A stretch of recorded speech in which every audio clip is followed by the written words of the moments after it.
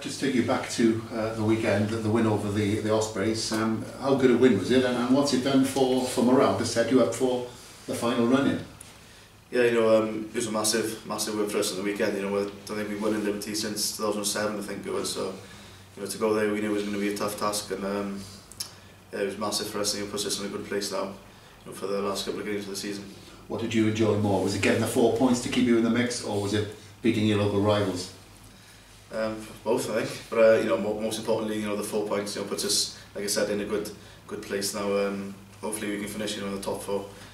And um, but yeah, it was, you know, it's always nice to get a win over the, the Ospreys, you know, and they beat us over Christmas, so we felt like the, we owed them one, so it was nice to get one back over them. You've got to do it all again now in a derby uh, this weekend, except you're at home. How much will home advantage mean? Um, yeah, it was nice to come back here, uh, you know, we'll have a good crowd here on the weekend to um, to support us. And um, yeah, you know the Blues they've been on some good form the last couple of weeks, so you know it's going to be another massive game for us. But um, you know hopefully if we can get a, our own house in order, we'll be good enough to beat them. What are your thoughts on, on where the Scarlets are?